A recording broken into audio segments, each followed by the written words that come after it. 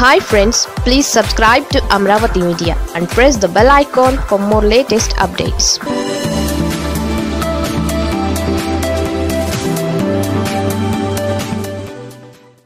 Butchaiah Chowdary seat ఈసారి YCP ఖాతాలోకే. తూర్పుగోదావరి జిల్లాలో టీడీపీ రాజకీయం రసకందాయంలో పడింది. ఆ పార్టీకి చెందిన సీనియర్ నేత గోరంట్ల బుచ్చయ్య చౌదరి పార్టీ అధినాయకత్వం మీద ధిక్కార స్వరాన్ని వినిపించారు. ఆయన సరైన టైంలోనే ఇలా గొంతు విప్పారని అంటున్నారు. రాజకీయంగా బడా నాయకుడు కావడం వల్లనే టైం చూసి మరి హైకమాండ్కి చెమటలు పట్టించారు. గోరంట్ల బొచ్చయ్య చౌదరి రాజమండ్రి టీడీపీకి కీలకం. ఆయన ఎన్నో ఎన్నికలను చూసిన మహాయోధుడు ఆయన చేతుల మీదుగా మూడుసార్లు రాజమండ్రి కార్పొరేషన్లో టీడీపీ గెలిచింది. మరోసారి అక్కడ జెండా పాతాలి అంటే గోరంట్ల బుచ్చయ్య చౌదరి సహకారం అవసరం. రాజమండ్రి సిటీ నుంచి నాలుగు సార్లు రూరల్ నుంచి మరో రెండు సార్లు గోరంట్ల బుచ్చయ్య చౌదరి గెలుస్తున్నారు. అయితే గోరంట్ల బుచ్చయ్య చౌదరి మాత్రం టీడీపీలో ఆదిరెడ్డి అపార వర్గంతో పూర్తిగా విభేదిస్తున్నారు. మరోవైపు ఆదిరెడ్డి ఫ్యామిలీలో అప్పారావు వైసీపీ తరఫున ఎమ్మెల్సీగా నెగ్గి సరైన టైం చూసుకుని టీడీపీలోకి జంప్ చేశారు. ఇక ఆయన కోడలు ఎర్రన్నాయుడు కూతురు అయిన భవానీ రాజమండ్రి సిటీ నుంచి ఎమ్మెల్యేగా ఉన్నారు. కుమారుడు వాసు మొత్తం టీడీపీ రాజకీయాన్ని గుప్పెట పట్టాలని చూస్తున్నారు.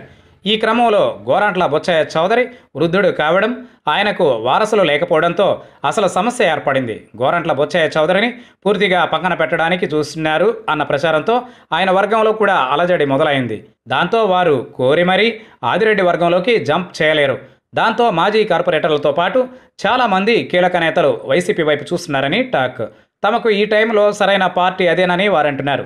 పైగా అధికారంలో ఉన్న పార్టీ కావడంతో ఆదిరెడ్డి వర్గాన్ని గట్టిగా ఢీకొట్టవచ్చు అని భావిస్తున్నారు. ఇక ఎంత అరచి గీ పెట్టినా కూడా వచ్చే ఎన్నికలలో గోరంట్ల బొచ్చయ్య చౌదరికి టికెట్ డౌట్ అని చెబుతున్నారు. ఆయన వారసుడిగా సోదరుడి కుమారుడికి కూడా సామాజిక సమీకరణల నేపథ్యంలో టికెట్ వస్తుందా రాదా అన్న డౌట్ ఉంది. ఈ పరిణామాల నేపథ్యంలో గోరంట్ల బొచ్చయ్య చౌదరి రాజకీయం ముగిసినట్లే అన్న మాట ఉంది. దాంతో ఆయనతో దశాబ్దాలుగా ఉంటూ వస్తున్న బలమైన వర్గం ఇప్పుడు వైసీపీ వైపుగా కదులుతోంది. త్రిసభ్య కమిటీతో చంద్రబాబు గోరంట్ల బొచ్చయ్య చౌదరి ఫైర్ను తగ్గించినా ఆయన వర్గం మాత్రం ఆదిరెడ్డితో కలిసి పనిచేసే పరిస్థితి లేదు. టీడీపీలో ఈ పరిణామాలను ఆసక్తిగా గమనిస్తున్న వైసీపీ కూడా అవకాశాన్ని వాడుకుంటోంది. రాజమండ్రి ఎంపీ మార్గాని భరత్ మీద జగన్ కార్పొరేషన్ గెలిపించే బాధ్యతలను పెట్టారు. ఆయన ఇప్పటికే ఆపరేషన్ టీడీపీ చేపట్టారు. అనుకోకుండా గోరంట్ల బొచ్చయ్య చౌదరి ఎపిసోడ్ తెర మీదకు రావడంతో వైసీపీ హుషారు చేస్తోంది. మొత్తానికి రాజమండ్రి కార్పొరేషన్లో తొలిసారి వైసీపీ జెండా ఎగిరే పవనాలే కనిపిస్తున్నాయి.